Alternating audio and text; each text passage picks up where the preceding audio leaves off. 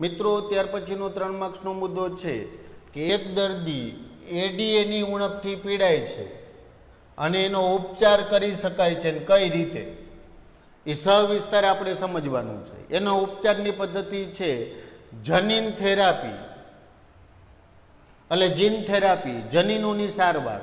કોઈ બાળક કે ભ્રૂણમાં નિદાન કરવામાં આવેલા, એટલે કે તપાસ કરવામાં આવેલા જનીની ક્ષતિઓને સુધારો કરવામાં આવે છે. જેમાં રોગની સારવાર માટે જનીનની વ્યક્તિના કોષમાં સક્રિય સામાન્ય જનીનને વ્યક્તિના કોષમાં અથવા પેશીઓમાં પ્રવેશ કરાવવામાં આવે છે. અને જનીનિક ખામીની સારવારમાં વ્યક્તિ અથવા ભ્રૂણમાં એ સામાન્ય જનીનો છે એ પ્રવેશ કરાવવામાં આવે છે.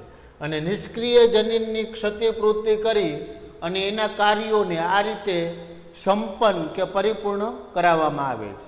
હવે જનીન થેરાપી દ્વારા આપવામાં આવેલી સારવારનો સૌ પ્રથમ કિસ્સો કે જનીન થેરાપીનો સૌપ્રથમ પ્રયોગ ઓગણીસો નેવમાં એક ચાર વર્ષની છોકરી જે એડીએની ખામી એટલે એડિનોસાઇન ડીએમિનેજ ઉત્સેચકની ખામીથી એ પીડાતી હતી, એના માટે કરવામાં આવ્યો છે.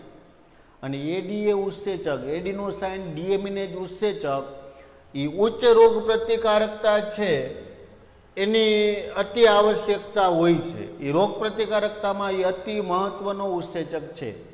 હવે આ સમસ્યા એક જ ઉત્સેચક, એડિનોસાઇન ડીએમિનેઝ માટે જવાબદાર જનીનનો લોપ થવાથી એ ઊભી થાય છે. અને હવે એનો ઉપચાર કેની સારવાર છે એની પદ્ધતિની દિશામાં આપણે આગળ છે એ ચર્ચાઓ કરીએ. હવે ઉપચારની અંદર કેટલાક બાળકોમાં એડીએનો ઉપયોગ કરી અસ્થિમજ્જા પ્રત્યારોપણ દ્વારા થાય છે.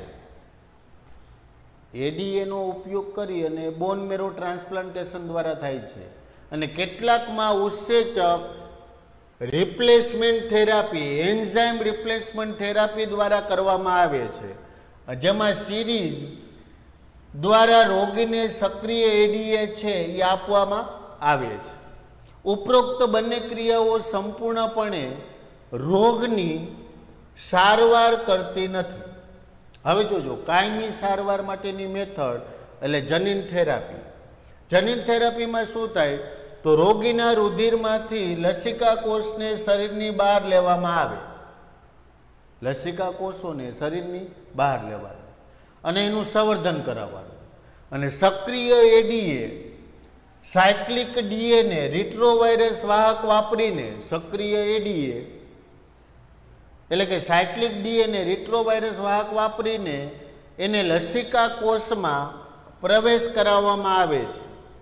અને જેના અંતમાં દર્દીના શરીરમાં એ પુનઃ દાખલ કરવામાં આવે છે. આમ છતાં લસિકા કોષ હોય કે કોઈ પણ કોષ હોય, એ અમરતો નથી.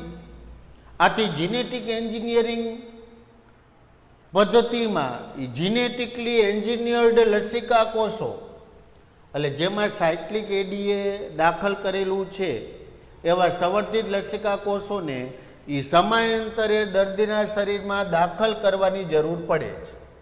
અને એના સોલ્યુશન માટે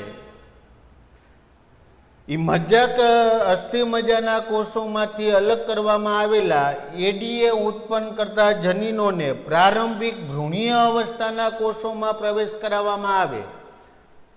એટલે કે ફલિતાંડની અંદર જો એને દાખલ કરવામાં આવે, તો એ આ રોગનો કાયમી ઉપરા, ઉપચાર છે. એ વારસાગત સોલ્યુશન છે, આનુવંશિક સોલ્યુશન છે.